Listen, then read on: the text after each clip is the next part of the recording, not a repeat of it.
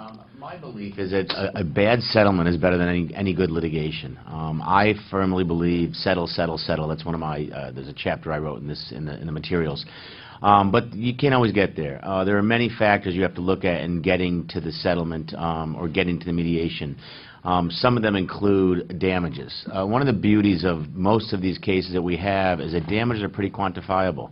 Uh, you get a P&L, you know how much was lost, so damages is unlike a broken arm or a brain damaged baby. You have some sense of what the pie is.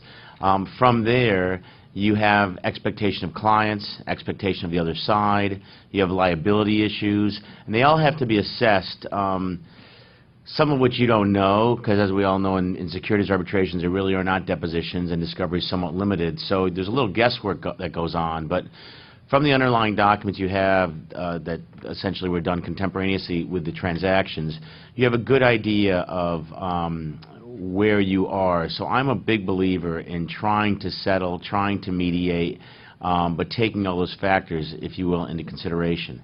Um, hearings are, listen, uh, uh, we've all at this table done dozens and dozens, probably hundreds of hearings. Um, hearings are, uh, when you win, they're great. When you lose, they stink. Uh, but they are a process. They are a long process. Anyone who has not done this a long time thinks that they can that thinks that they can do a hearing, a securities arbitration in a day.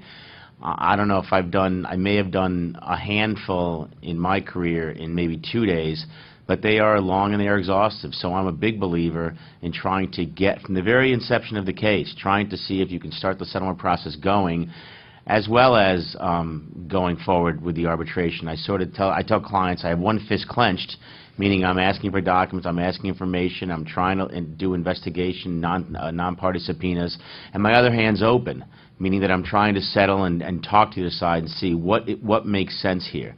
So I, I'm a big believer in trying to settle. It doesn't always happen, but um, you'd rather have a voluntary result, um, possibly even somewhat unsatisfactory, than having a, a three panel members, um, some of whom from the last session we learned, uh, you know, don't really, not them, but some panel members don't really observe the law.